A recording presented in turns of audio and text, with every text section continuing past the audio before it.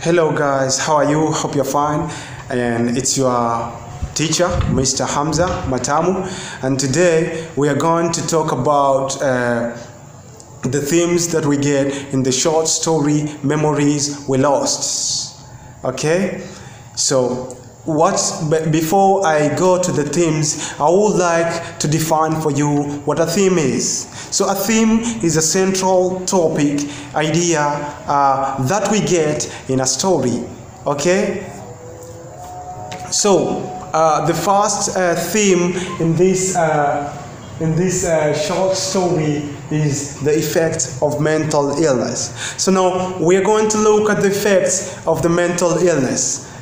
Okay, uh, that so this story revolves around a sick girl. Okay, a sick girl and a sister, and then uh, this sick girl, this uh, sister who has this mental illness, and uh, uh, and, and the effects, and we are going to look at the, this mental illness, uh, its effects uh, in those, in this victim, uh, and, and, and its effects on the people who are who surrounds her or who are around her okay so the first thing that this thing this disease took was her speech okay so this uh, the first thing that, that this disease took was her speech.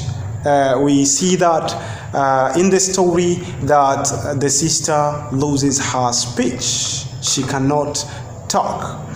The second thing is that the memories now began to fade away. So, which means that we are losing memories. and these stories, memories are lost. Okay, so if I can quote, and if you are explaining a theme, you give uh, a quote, you quote from the story, okay, and then you explain whatever you have quote. So memories faded one after another, one after uh, the other until our past was a blur. So these are the memories we lost. Then this story also is a horrifying, and this mental illness is a horrifying, is horrifying, and it has a dehumanizing effect on the victim. Why? Because every time, every time this thing took her, she returned altered, unrecognizable. Okay, unrecognizable, uh, as if two people were trapped inside her. Okay, so the whole community also is also affected by this uh, mental illness. Why? Because uh, at night the girl uh, with the mental illness runs away, and so the mother and the sister had to uh, wake up and go to search, uh, go in search of her. But in going out to search for her, they needed assistance from the community. So the whole village, the whole village, wakes up and go out and search for her.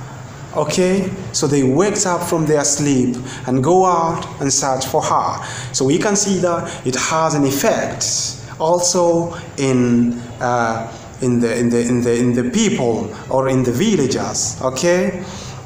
The second theme the second theme is mental illness itself okay? So you write mental illness. So now the author describes uh, and gives us a picture of the disease how a person who has the disease reacts.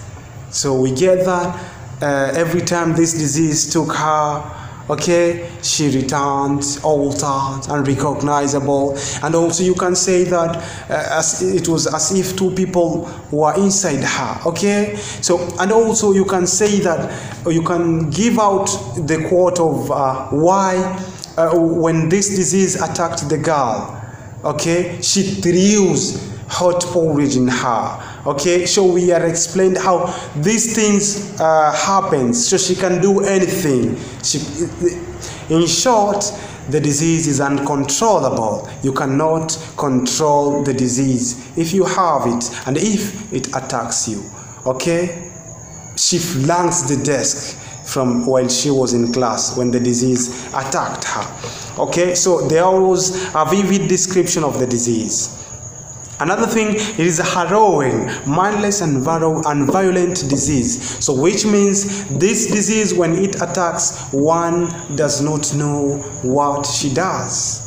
She flung the desk, the desk from the class, from the classroom. Okay, she throws a bowl of hot porridge to her sister, and her sister was in pain. So it is a violent disease. One cannot control himself. It is also caught up in violent uh, superstition. So, which means uh, mm, this disease, there was a lot of superstition. The Sangomas, they came, they did rituals. Okay, there was this this rituals of tobacco, meat, and uh, tobacco meat and what? Uh, tobacco meat and.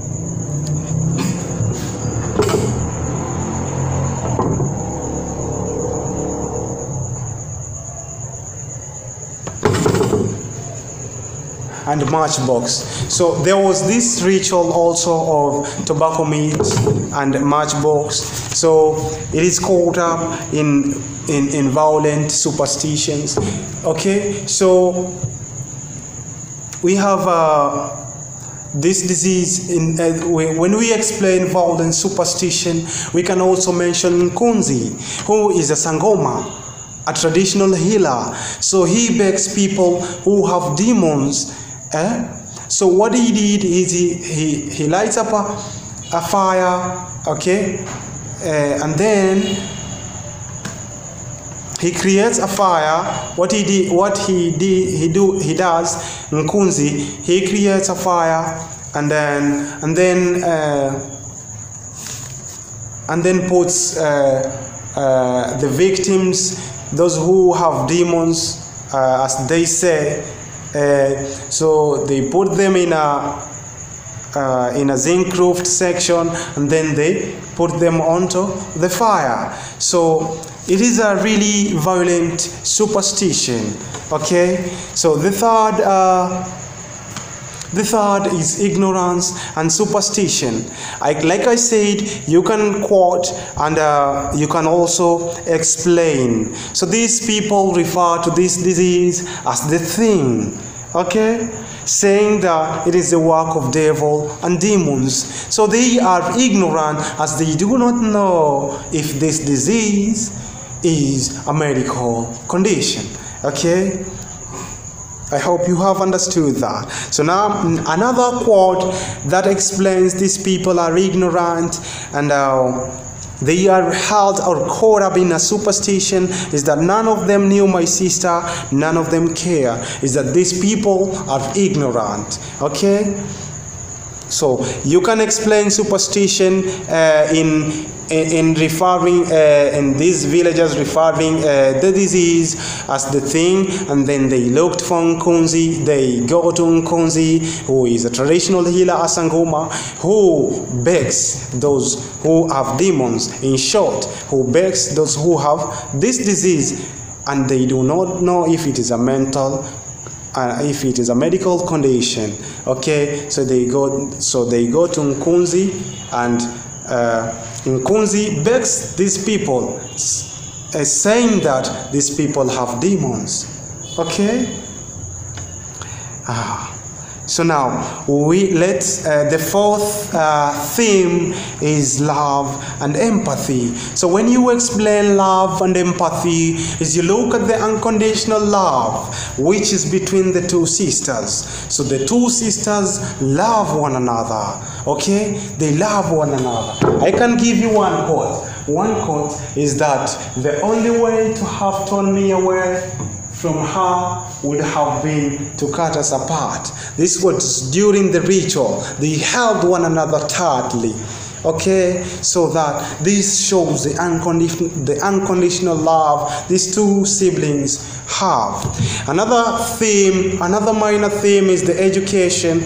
Uh, and when we look at education, is we look at the challenges uh, of education. Uh, the education was hindered here. Okay, so the two sisters uh, this we, we can look at the sibling who is sick.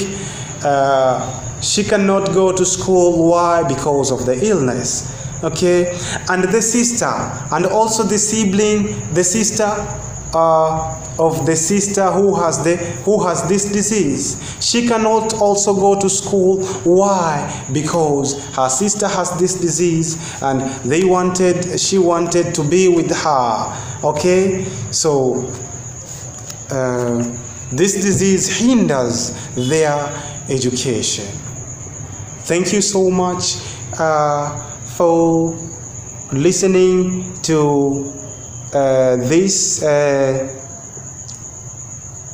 this lesson of themes. You can also uh, have other minor themes like tradition and others okay? So thank you so much for listening to to this to, to this lesson. And um, it's been your teacher mr hamza matamu. And the next lesson would be the styles of the memories we lost. Then we go to Uh, another short story. Have a nice time. Bye bye